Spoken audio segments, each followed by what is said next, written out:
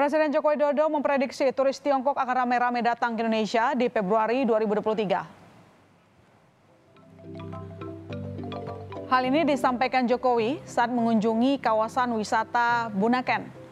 Presiden Jokowi mengatakan Indonesia sudah membuka pintu masuk bagi turis asing, termasuk dari Tiongkok. Di Februari 2023, diperkirakan turis Tiongkok akan ramai mengunjungi Manado, Sulawesi Utara.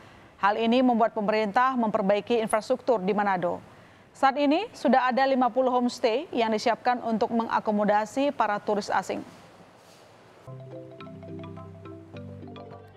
Kita apa? Kita membuka untuk turis semua negara tanpa kecuali termasuk dari China, dari Tiongkok. Silahkan. Dan saya melihat di awal bulan Februari ini akan berbondong-bondong ramai turis dari Tiongkok akan masuk ke Manado, masuk ke Sulawesi Utara kembali.